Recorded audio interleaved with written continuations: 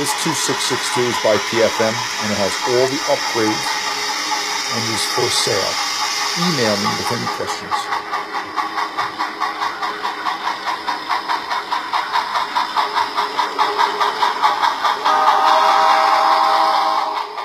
Most locomotives are upgraded with DCC sound decoders, wiring harnesses, electrical pickups over to the tender, windows, lenses, polos, working couplers, among other things.